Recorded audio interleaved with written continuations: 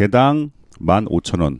그러니까 두 개 3만 원에 스피커 통 12만 원, 총 15만 원으로 만든 스피커에 대해서 간단하게 좀 썰을 풀어볼까 합니다. 뭐 지금까지 제 채널을 보신 분들은 아실 거예요. 중국산 완음 full range 4인치 가지고 항상 영상 올렸는데 어, 얼마 전에 우연찮게 인터넷에서 우리나라 업체 삼미에서 나온 8인치 full range 유닛이 어, 상당히 저렴하고 괜찮더라.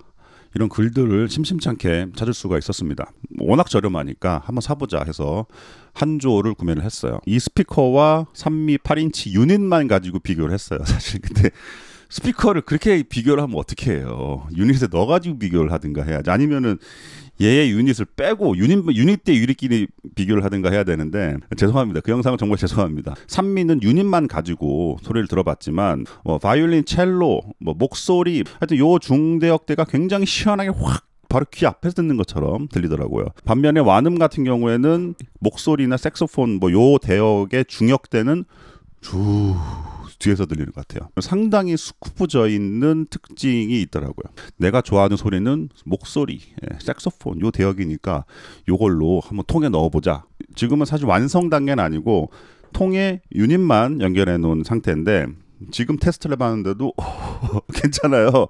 어, 제 맞기에는 거의 100점 만점에 200점입니다. 지금까지는. 지금 제가 만들어 온 과정을 좀 설명을 드리면은 일단 저는 스피커 공학적인 계산을 통해서 뭐 용적률 이런 계산을 할 줄 모릅니다.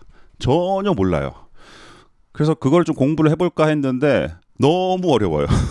그래서 포기. 예, 공부하는 거 포기. 시뮬레이터 웹페이지 시뮬레이터 있는데 그걸로 계산했는데 그뭐 아, 그것도 잘 이해가 안 가서 포기. 그래서 100% 그냥 눈으로 만들었습니다. 네, 보기 좋게 만들고 그리고 눈으로 사이즈 정하고 일단 요 통을 구매를 해야 되잖아요. 인터넷으로 기성품으로 된 통을 살까 아니면은 요즘에는 뭐 원하는 사이즈로 재단까지 다 해주는 데가 굉장히 많잖아요. 그러니까 두 군데를 비교를 하다가 쉽게 가자 이번에는 처음 시도하는 거니까 그래서 기성품으로 된 제품을 구매를 했습니다. 근데 스피커용으로 나온 게 아니고 이거는 그냥 무슨 뭐 보관함으로 나온 제품이에요. 거기에서 파는 기성품으로 된 제품의 요 폭, 요 깊이 이게 너무 좁았어요. 그게 19mm였거든요. 아, 요것만 30mm로 늘리면 좋을 텐데. 그래서 그 업체에 전화를 했죠. 그 여사장님이 운영하시는 그 인테리어 소품 만드시는 분인데 그분이 전화를 받고 제가 원하는 대로 다 만들어 주겠다 해서 거기에서 그 웹페이지 기준으로는 높이입니다. 이거 원래 이렇게 눕혀서 쓰는 용도로 그분이 파시는 거거든요.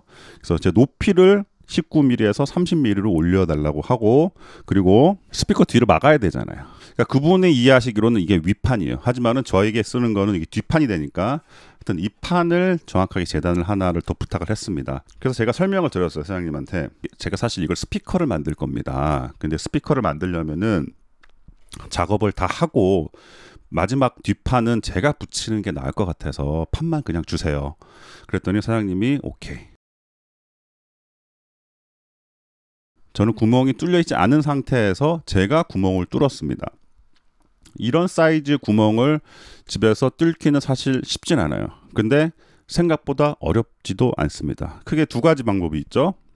서클 커터를 이용한 방식이 있고 또 한 가지는 직소를 이용한 방식이 있는데 사실 직소를 이용하면은 깨끗한 원을 만들어내기 어렵다고들 많이 하시는데 어 저는 간단하게 콤파스 아답타를 만들어서 거기다 대고 그냥 돌렸습니다.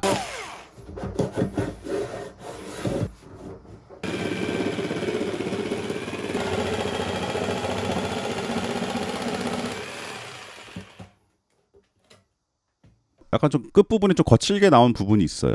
근데 그 부분 사포로 마무리도 되고 스피커 유닛을 바깥쪽에서 끼는 방법 그리고 안쪽에서 끼는 방법이 있는데 처음에는 저는 안쪽에서 끼려고 했습니다. 그런데 생각해 보니까 만약에 제가 뒷판을 접착을 해버리면은 나중에 스피커 유닛을 뺄 수가 없어요. 바깥쪽에서 하는 게 낫겠다. 근데 여기 보시다시피 이 스피커는 요 어, 스피커 유닛과 맞닿는 부위에 이런 폼이 이렇게 붙어 있는데 이 폼은 사실 안쪽에서 붙이도록 여기가 돼 있는 것 같아요. 웬만하면 나무와 철이 바로 닿는 거는 좀 막기 위해서 간단한 부직포 테이프를 둘러서 안쪽에 붙였습니다.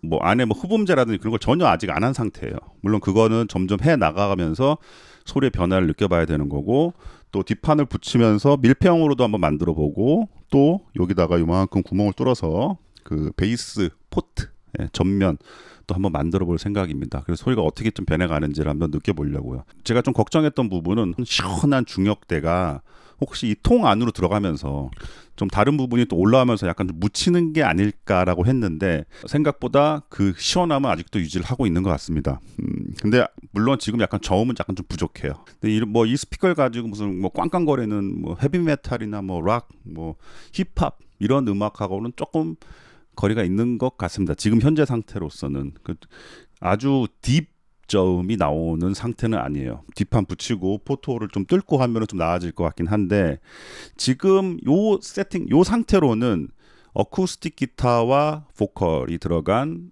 그런 심플한 음악에 굉장히 어울립니다. 지금. 예. 제가 방금 전에 테스트 음악을 몇 곡 들었는데 어어 너무 좋았어요. 너무 좋았어요. 어, 지금부터 요 녹음기로 녹음한 샘플 음악을 몇 곡 들려드리도록 하겠습니다. 물론 이게 녹음기로 듣는 게 실제로 기는 듣는 거랑 완전 다르죠. 하지만은 약간의 맛이라도 좀 느껴보시라고 올려보겠습니다. 그리고 추후에 뒷판 달고 포트 뚫고 흡음배 채우고 이런 과정은 별도의 영상으로 올려보도록 하겠습니다. 감사합니다. 공들의 파파였습니다.